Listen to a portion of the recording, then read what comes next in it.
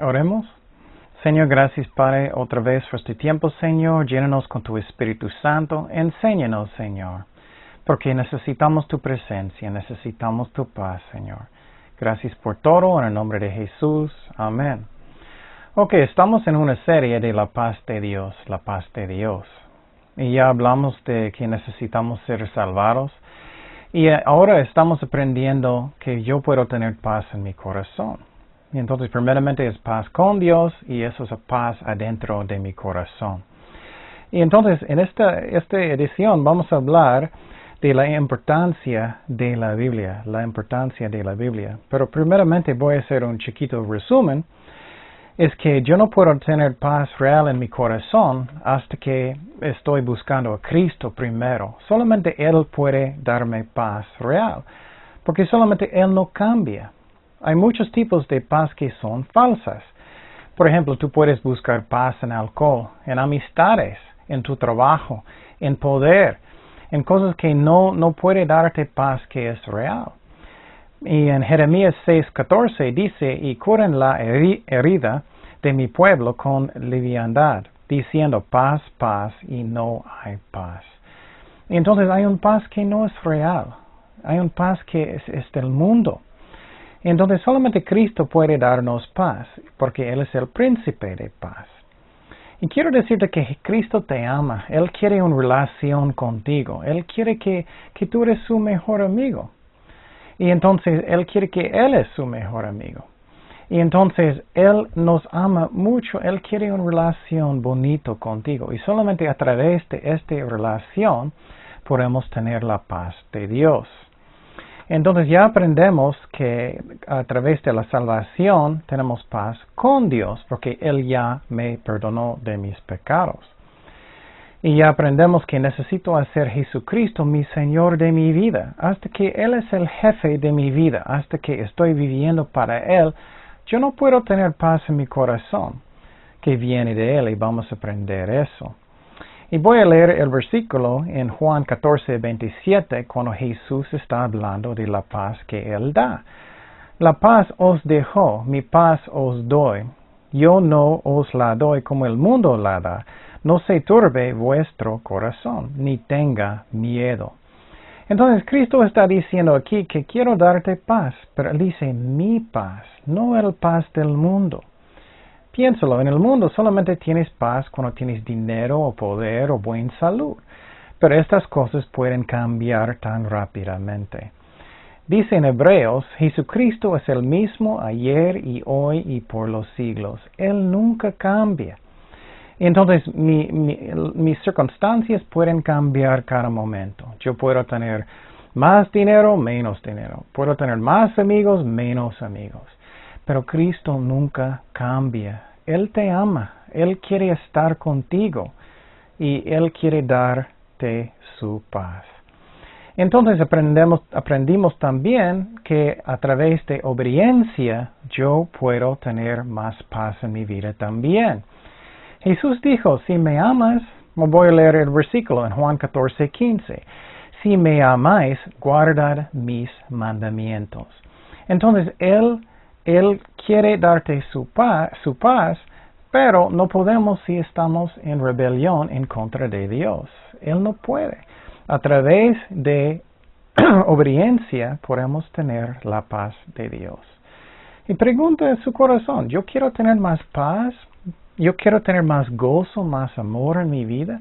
Cristo puede darte eso pero solamente a través de Él. En Gálatas 5:22 dice más el fruto del Espíritu es amor, gozo, paz, paciencia, benignidad, bondad, fe, macedumbre, templanza. Contra tales cosas no hay ley. Entonces no hay un paz aparte de Cristo. Y aprendimos también que no hay paz en el pecado. Posible sentimos a gusto por un rato, pero siempre pecado llega a dolor. Llega a dolor.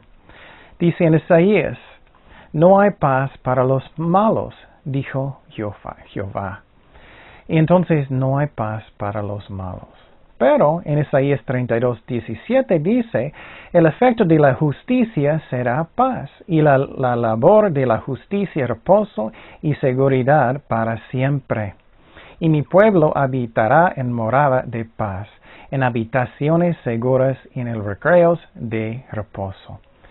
Entonces, ay, necesito preguntarme, ¿necesito, quiero más paz en mi vida? ¿Quiero gozo? ¿Quiero amor? ¿O quieres como el mundo, que solamente sientes contento o gusto cuando tienes suficientes cosas? ¿O quieres tener paz a través de cualquier circunstancia? Entonces aprendimos también que necesitamos aprender la Biblia, porque mi fe puede crecer a través de la Biblia. Y muchas veces nuestras Biblias están en un, lugar que, que, tiene mucho polvo. Necesitamos quitarlo y leer la Biblia. Y aprendimos que Jesús estaba enseñando los discípulos y las multitudes mucho. Entonces es muy importante que aprendimos la Biblia. Eso es muy importante.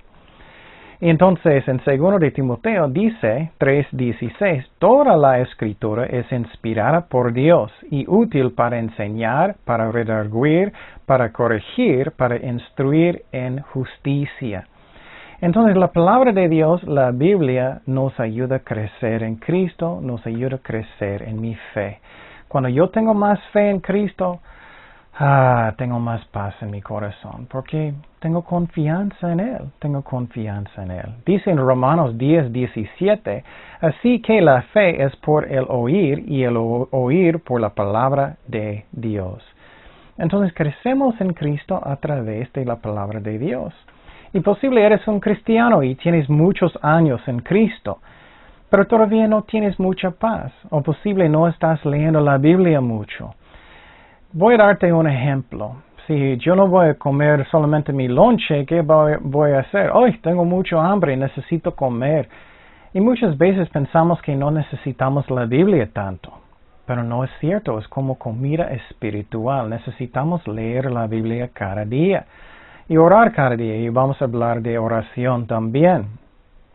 Entonces, solamente la palabra de Dios puede servir también si obedecemos la palabra de Dios. Muchas veces personas dicen, um, oh, la Biblia no sirve, no tengo mucha paz, o, o, no tengo mucho gozo. O bueno, es que necesitamos ser hacedores de la palabra. Dice en Santiago 1.21, dice, pero ser hacedores de la palabra no tan solamente oidores, engañándolos a vuestros mismos. Y entonces necesitamos leerlo y obedecerlo. Es la única manera que podemos tener paz en el corazón.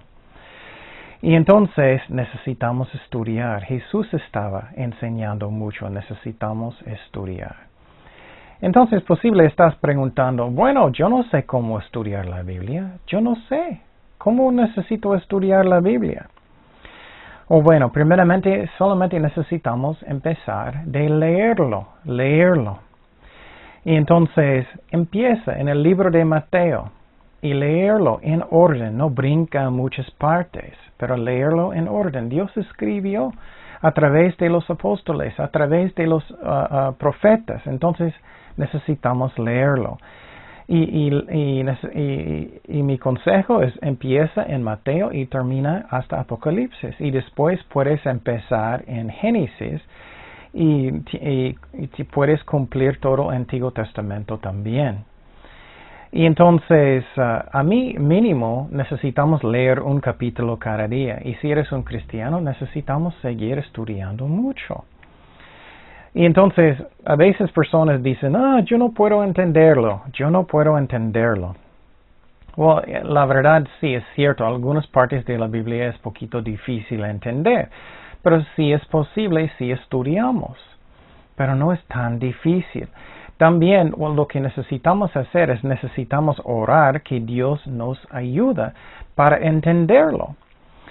Um, hay un versículo que es muy interesante que dijo Jesucristo.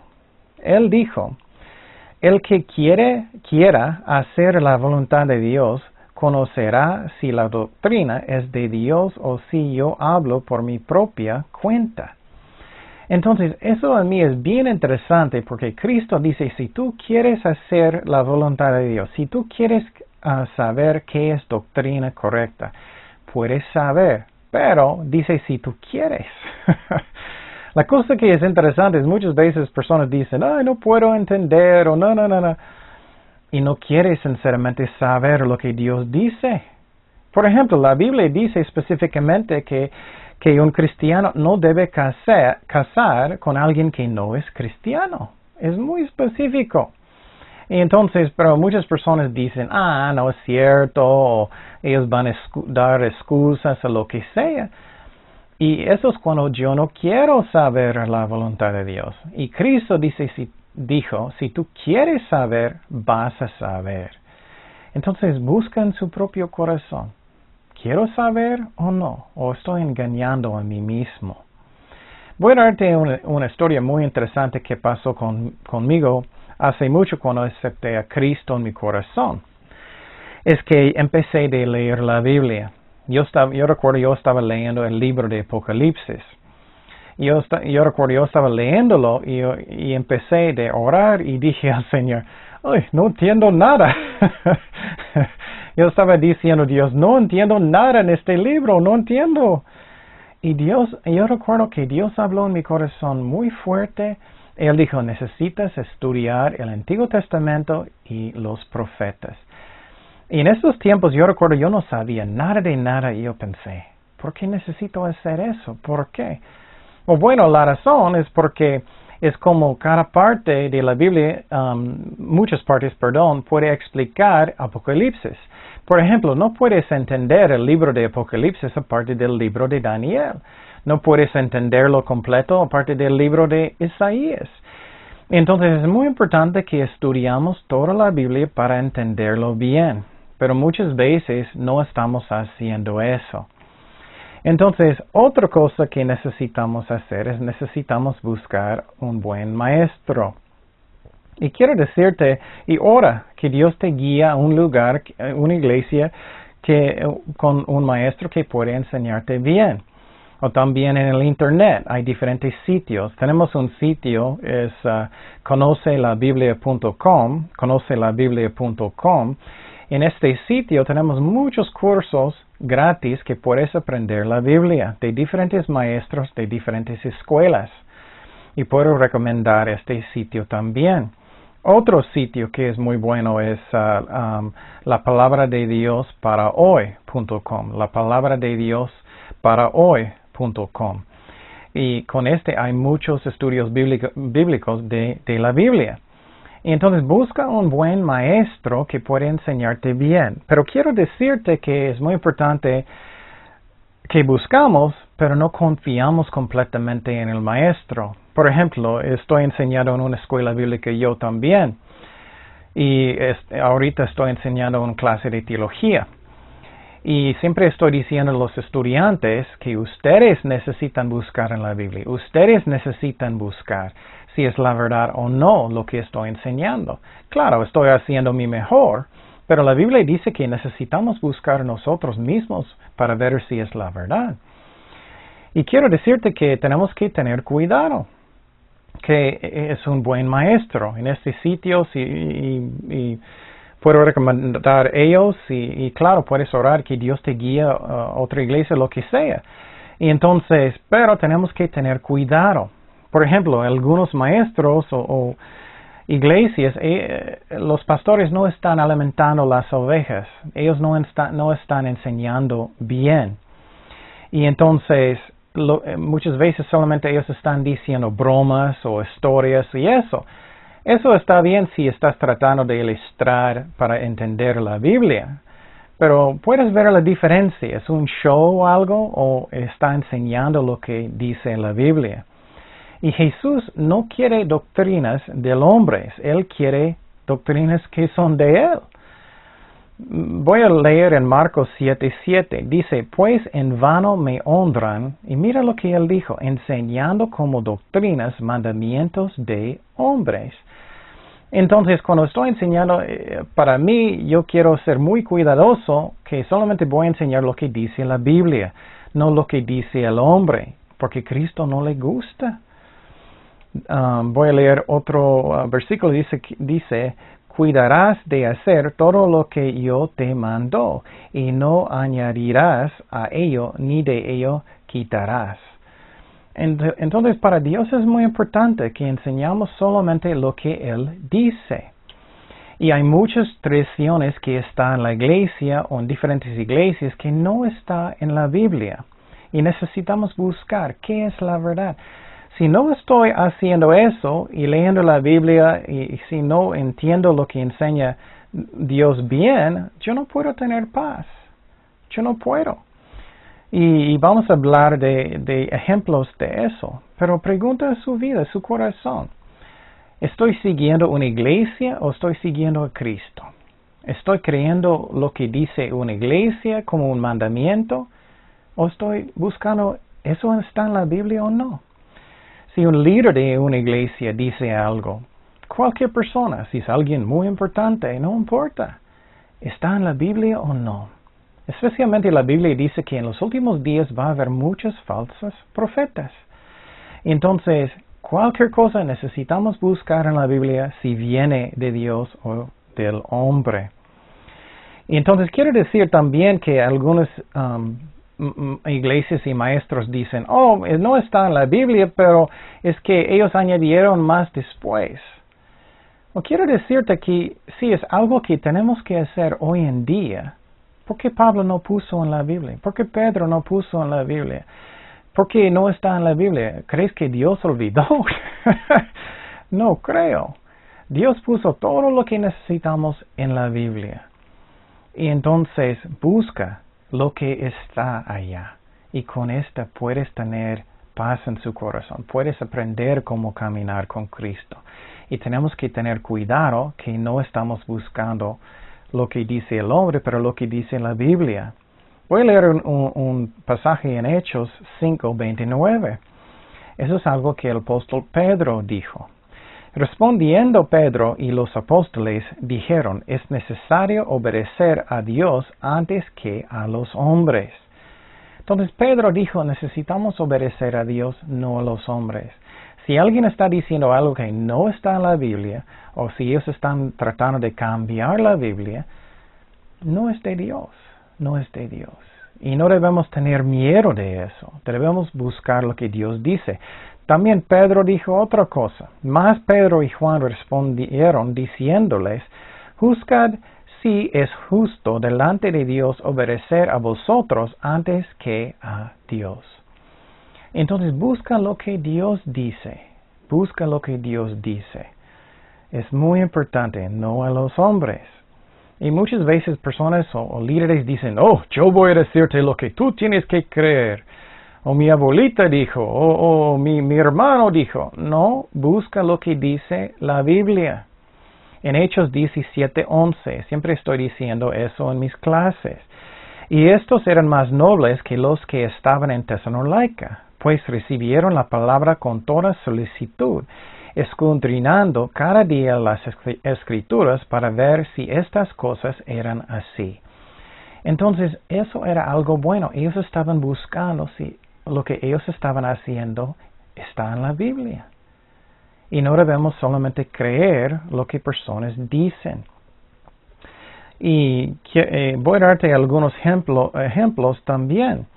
Por ejemplo, um, en, la, en, la, iglesia de, los testigos de Jehová, ellos dicen um, que uh, Jesús no es Dios. Los testigos de Jehová dicen que Él es Miguel el ángel. La Biblia no enseña eso. La Biblia enseña que, que Dios es el Padre, Hijo, Espíritu Santo, pero solo un Dios. Pero ellos enseñan que Jesús es Miguel el ángel. Entonces necesitamos mirar la Biblia. Y quiero decirte que también ellos, los testigos de Jehová, ellos cambiaron la Biblia en muchas partes. Puedes compararlos que ellos lo cambiaron. Y también, por ejemplo, ellos no creen en el infierno y Jesús enseñó mucho del infierno. Ellos, solamente creen que 144 mil personas pueden ir al cielo. La Biblia nunca enseña eso. Entonces, otro ejemplo, los mormones. Y quiero decirte que mi meta no es para ofender personas. Y quiero que ustedes busquen ustedes mismos. Pero voy a explicar lo que enseña la Biblia y ustedes necesitan orar y buscar lo que es la verdad. Y entonces, por ejemplo, también los mormones. Ellos enseñan que Jesús es el hermano de Satanás. La Biblia no enseña eso. La Biblia enseña que Jesús es el creador del universo. También los mormones enseñan que, los hombres, si ellos son buenos mormones, pueden tener su propio planeta y puede ser un Dios. La Biblia nunca enseña eso. Y entonces, no debemos creer cada cosa que personas dicen si es una iglesia, aunque es una iglesia buena. No debemos automáticamente creer cualquier cosa. ¿Dónde dice eso en la Biblia? Y, leerlo y compararlo. Y necesitamos leerlo bien. Y no debemos solamente creer lo que dice mi abuelito o, mi hermano. Porque después de la muerte vas a estar enfrente de Dios, no enfrente de tu abuelita, no, no enfrente de tu hermano, de tu hermana. Y necesitamos hacer eso porque muchas personas cambian las escrituras por cosas que ellos quieren. Ellos le gustan torcerlos. Voy a leer un pasaje que dijo Pedro. Casi en todas sus epístolas, hablando de ellas, de estas cosas entre las cuales hay algunas difíciles de entender. Y mira lo que él dijo, las cuales los indoctos y inconstantes tuercen, como también en otras escrituras, para su propia perdición. Entonces, Muchas veces personas cambian, ellos van a torcer la palabra de Dios para que ya no dice lo que Dios quería decir. Y entonces necesitamos buscar lo que dice Dios, no el hombre. Y eso es tan importante porque personas pueden nacer en, en, en, en China, ellos pueden practicar budismo, o alguien puede nacer en, en Irán o Irak. Pero, y sus papás pueden decir cosas, pero necesitamos buscar qué es la verdad. Y entonces, eso no es una clase grande de, de eso, y, tengo eso en la, en la escuela, pero necesitamos buscar. Por ejemplo, los musulmanes, ellos enseñan que Cristo no murió en la cruz, ellos enseñan que Judas murió en la cruz. Y obviamente eso no es cierto. Entonces necesitamos estudiar la Biblia y quiero animar a ustedes que no es tan difícil, necesitamos leerlo. Porque Dios lo escribió, esa es la única manera que yo puedo tener paz en mi corazón, que yo puedo crecer en Cristo. Oremos. Señor, gracias Padre por tu palabra, gracias que tú eres un Dios de amor, gracias que la palabra está viva, Señor y quieres bendecirnos, guiarnos en la luz, en la verdad, Señor. Ayúdanos a estudiar, Señor, tomar las cosas en serio, Señor. En el nombre de Jesús. Amén. Jesús te ama. Queremos invitarte a nuestra iglesia La Cosecha, donde tú puedes aprender el amor de Cristo y puedes aprender la Biblia. Muchas veces pensamos que no podemos aprenderlo, pero estamos estudiándolo versículo por versículo y tú puedes aprenderlo. Y Jesús te ama tanto y queremos mostrar eso porque Jesús es amor. Y te amamos nosotros también en el amor de Cristo. Dios te bendiga. Ay, mamá.